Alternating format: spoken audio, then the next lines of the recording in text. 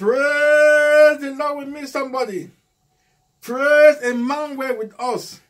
Praise the one that opened it and no one shut it. And the one that shut it and no one opened it. Praise our Lord and Savior Jesus Christ. You are most welcome in the mighty name of our Lord and Savior Jesus Christ. I am Kemji Theodore and I am the author of this Holiness book known as Understanding the Doctrines of Strategic Holiness, Volume 1, The Doctrine of Strategic Components of Holiness. The book is available on Amazon. We are studying holiness, and the obvious question is why are we doing so? We are doing so because the Holy Bible teaches us that holiness is the qualification to make it to heaven. It is the requirement to make it to heaven. It is the condition to make it to heaven. The Holy Bible is abundantly clear that without holiness, no one shall make it to heaven. Therefore, it is our responsibility to study holiness, live such a life here on earth, all the days of our life here on earth, so that at the end of our life here on earth, we shall all make it to heaven. And I pray that you will do so in the mighty name of our Lord and Savior Jesus Christ. We are in lecture one now, and we are examining the definitions of some heaven and holiness terms that we are going to use during our 150 lectures in Series A and 200 lectures in Series B of our Holiness unto the Lord Revival Studies. We have already defined 34 terms. Lecture 1 has 65 of them. We have already defined 34. Now we are going to define the 35th term known as atonement. Atonement. Atonement.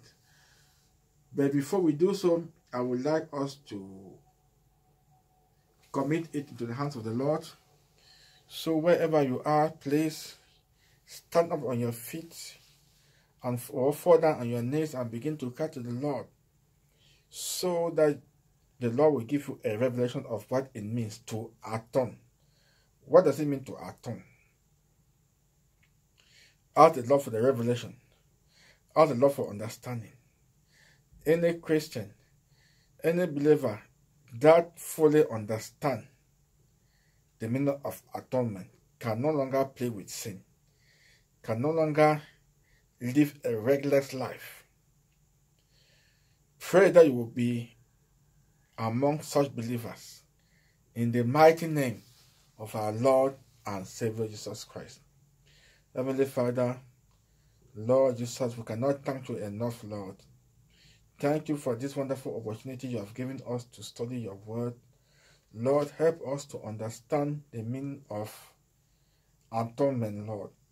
Help us to understand what it means to atone, Lord, so that we will no longer live a regular life, but we will live a life of righteousness and holiness all the days of our life here on earth. And, the, and at the end of the day, we'll make it to heaven and be with you forever ever. We give you all the praise, we give you all the honor. Lord, I cover this definition with the blood of Lord Jesus in the mighty name of our Lord and Savior Jesus Christ. Amen. So, what does it mean to atone? The New Illustrated Bible Dictionary on page 139 defines atonement as the act by which God restores a relationship of harmony and unity between himself and human beings. I repeat, the New Illustrated Bible Dictionary on page 139 defines atonement as the act by which God restores a relationship of harmony and unity between himself and human beings. Keep in mind that there was a human need, and this human need came as a result of the sin that Adam committed and the sin that you committed, the sin that we committed. Because God is holy, we were helpless. We could not have any relationship with a holy God because we were sinners or because we are sinners. And so, only God could do something because we were helpless, we could not do anything because of our sin. We could not have any relationship with God because of our sin. Were condemned by our sin. And there was nothing we could do because we were helpless. But God Almighty intervened and gave us a gift. Because of God's grace, He responded to our helplessness. He responded to our helpless situation. He provided a perfect solution in the person of our Lord and Savior Jesus Christ. And not only so, but we also joy in God through our Lord Jesus Christ, by whom we have now received the atonement. That is Romans 5 11. So it is only through our Lord and Savior Jesus Christ that this relationship is restored. That this relationship, that God restored this relationship of harmony and unity between Him and us. It is only through Christ.